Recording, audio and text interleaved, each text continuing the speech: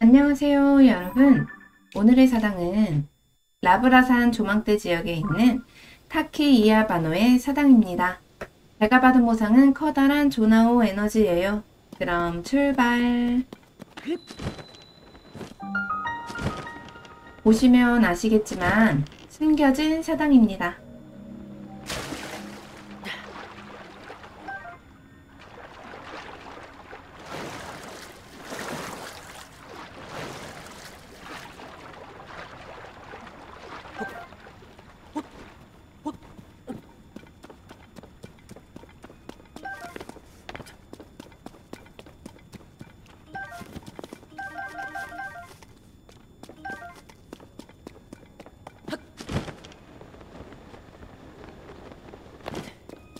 타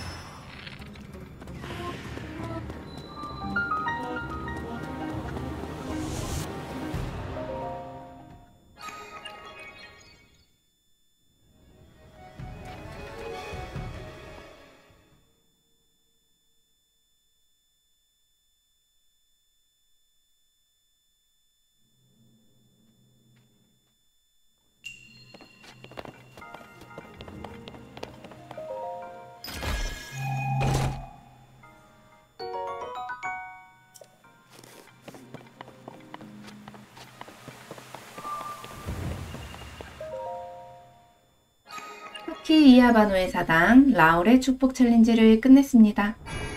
영상이 도움되었나요? 도움이 되었으면 좋겠습니다. 그럼 안녕. 다음에 또 만나요.